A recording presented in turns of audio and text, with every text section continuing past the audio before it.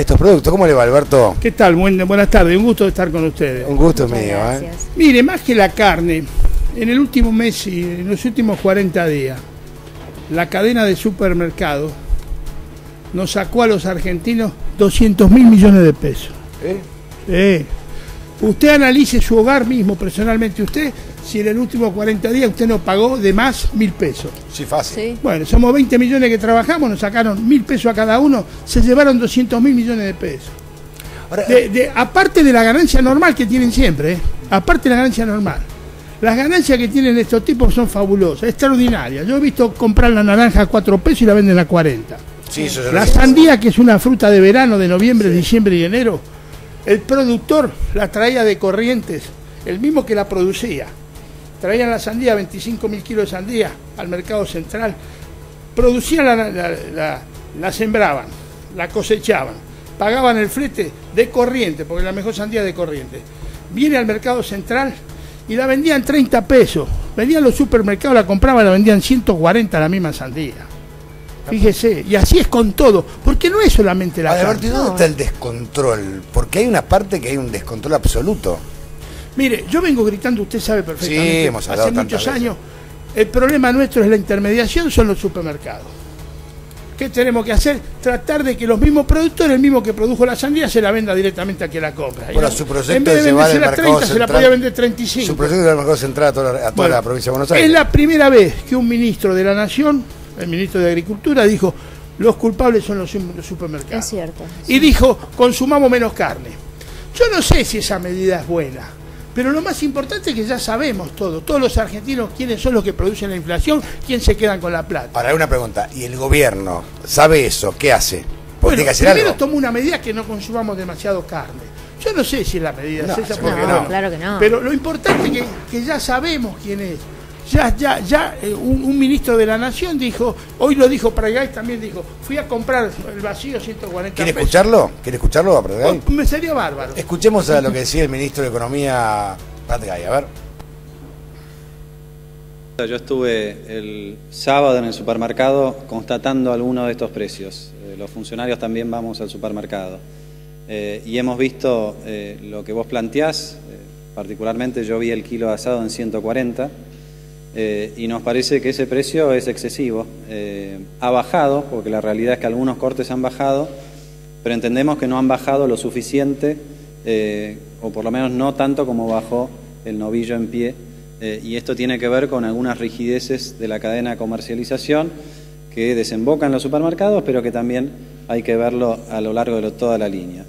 En los próximos días van a haber anuncios por el lado del Ministerio de Producción, eh, la conformación eh, y la designación en sus cargos de los funcionarios que van a estar con la responsabilidad de la Comisión Nacional de Defensa de la Competencia, un área que el gobierno anterior prácticamente dejó de lado eh, porque por lo visto no creía en esa dimensión y nosotros estamos convencidos de que ese es el organismo y ese es el instrumento a través del cual vamos a empezar a ordenar algunos excesos. en Argentina los empresarios se tienen que acostumbrar a que la competencia es buena, eh, no solamente para el empresario, sino fundamentalmente para todos los ciudadanos. Y lo que nosotros planteamos sobre la mesa, lo hemos dicho más de una vez, ni los guantes de box, ni la ley de la selva, pero en el medio va a haber el camino donde, eh, compitiendo, todos van a hacer las cosas mejor y se van a beneficiar sobre todo los consumidores.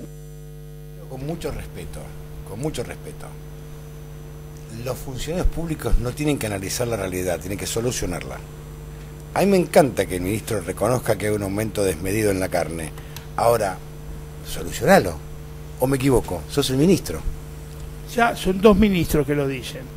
Primero fue el ministro de Agricultura y ahora el ministro de Economía. Es importante que digan Pero por lo menos reconocen. Es importante, ya reconocen quién es. Pero es la primera vez. En ocho años que yo vengo gritando, nadie reconocía nada. No, le echaban la culpa al viento, a la lluvia, a aquello. Ninguno decía son los supermercados son los supermercados los que nos perjudican, que son los intermediarios. Bueno, yo logré de las dos cosas una. Primero que se, que se identifique nacionalmente quiénes son los culpables.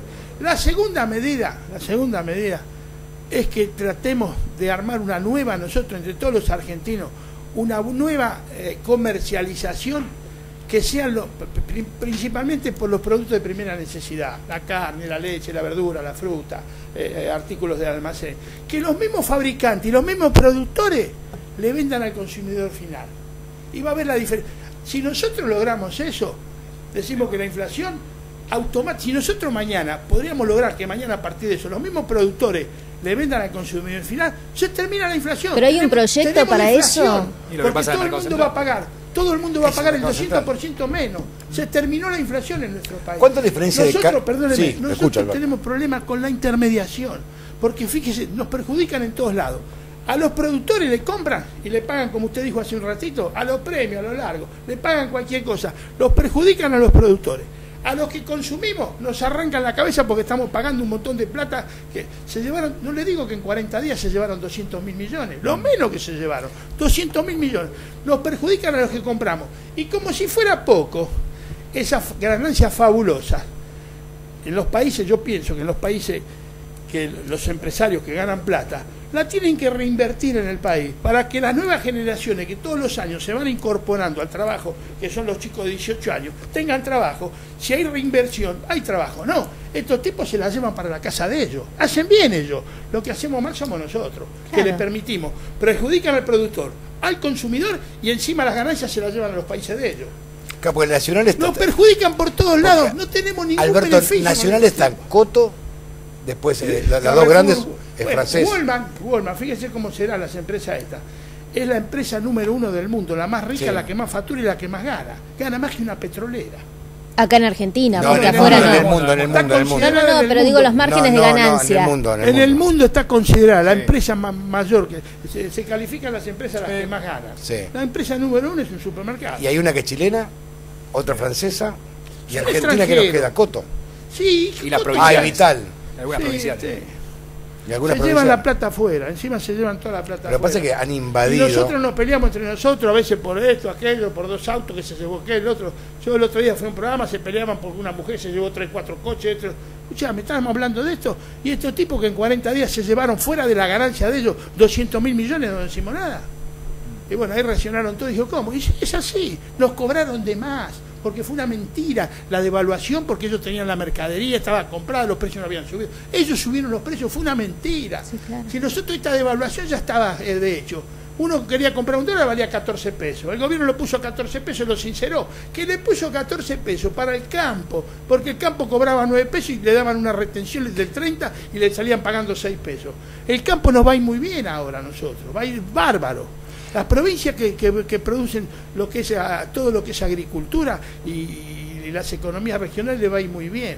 Le invito a que veamos unas placas con los precios de la carne. Y usted me, me va Mire, contando. yo le digo ahora antes que vea la placa, ningún corte El supermercado. puede pasar 90 pesos. Pero escuche, mi- mi- mire los cortes, a ver, mire.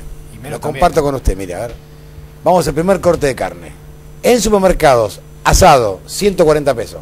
un robo. ¿Cuánto debería 40% de robo. 40%. 40% siguen robando, siguen generando. Ahora que ganaron en 40 días 200 mil millones, quieren seguir ganando todos los, cada Sí. 40 días 200 mil millones. Alberto, yo tengo que para poner en góndola, es decir, el costo total de góndola son 37 pesos y vale 140.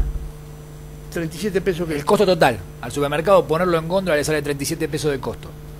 Total, supermercado porque tiene la cadena propia además, ¿no? Es decir, Tal vez un poco más. Un poquito más, El- pero- el pero ¿cuánto- cuánto asado margen hay ahí? Con 80 pesos está recontra. Se, se gana plata vendiendo los 80 pesos. Vamos a ver otro corte, mire, otro corte, a ver.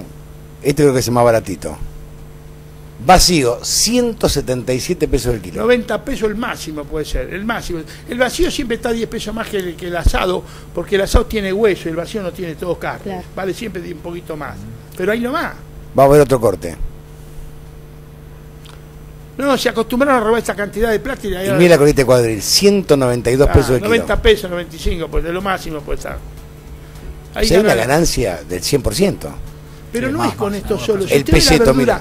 Cuando analicen la verdura y la fruta, No, no, ya lo vi. no, eh. no, es una locura. Cuatro o sí. cinco veces. No le digo que la naranja la pagaban 4 pesos y la vendían 40. Tortuguita cuesta 4, kilos de naranja 20 pesos y el supermercado cuesta 40 pesos un kilo de En naranja. el mercado central, ¿cuánto está el kilo de lechuga? Ah, no vale nada. Mire, el tomate, 2 kilos de tomate va- vale 14 pesos. Pero la Sí. lechuga, por ejemplo. La lechuga está a 7, 8 La bola de lomo, Alberto, 149 pesos. No, no, ningún corte puede pasar los 90 pesos hoy, por lo que vale la hacienda en pie. Mm. No, ningún corte puede costar eso. Bife chorizo, 140 pesos el kilo. No sé, las caras de Alberto son fabulosas. En el mercado central vale 70 pesos, 60, kilo. el, asado 60 pesos. Ahora, Alberto, ¿por qué? Ahí hay otro, otro corte, ¿no? Matambre 186 pesos el kilo. Alberto, ¿por qué hay tanto temor a discutir la rentabilidad de los supermercados? No sé, con el gobierno anterior sí, pero con este ya hay dos ministros que en 40 días dijeron los culpables son estos. Y ahí dijo eh, el ministro de Economía que va a tomar algunas medidas. No, que las tome. Sí. Porque este- esta inflación es imposible. y Con estos Pero los precios. supermercados nos están robando de hace mucho tiempo Sí, acá. usted- no empezaron a robar A ahora. ver, hemos hablado cuántas veces usted y yo. Y hemos hablado del mismo tema. Siempre usted me dijo, tema. son los cinco formadores de precios de este país. Son, los- son los que nos producen la inflación, todos los males son eh, económicos los producen ellos, créamelo que es así. La gente Ahora- que va al mercado, mire, la gente que va al mercado central, que son, vienen los productores, yo con los productores también, yo camino todos los días para que los productores, porque veo, el hombre bueno si lo vigila mejor, para que la balanza la tengan bien. Como ellos venden tan barato y se quieren che, tan barato. Lo- están indignados los productores, ¿sabe por qué? Dicen, ¿cómo puede ser? Yo traigo la mercadería acá a 10 pesos, me la llevan ellos y después la veo en la góndola a 30 Pero pesos. le preguntaba a la lechuga, la- porque ayer en el supermercado de origen francés, el kilo de lechuga estaba a 34 pesos. No, Ayer, ¿eh? Ahora, Alberto, si se paga 25 pesos el kilo de novillo vivo, 50 pesos las dos medias reses en los frigoríficos Le- le- le y 100 simplifico. pesos en el Perdóneme, mostrador, para que ¿por qué esto en el No, supermercado? pues esto es una cadena que No, la no, mire, conoce. yo para que ustedes sepan siempre, siempre, el precio máximo de la carne, cuando ustedes toman el precio del novillo, 25 pesos, lo tienen que multiplicar por 4 y bajarle el 10%. Y ese es el corte más caro. No se van a equivocar nunca. Para saber lo que vale la carne en el, lo que tiene que valer la carne en el mostrador, ustedes siempre tomen el precio del novillo, 25 pesos por 4 son 100, menos el 10% 90 pesos. El corte más caro, de ahí para abajo.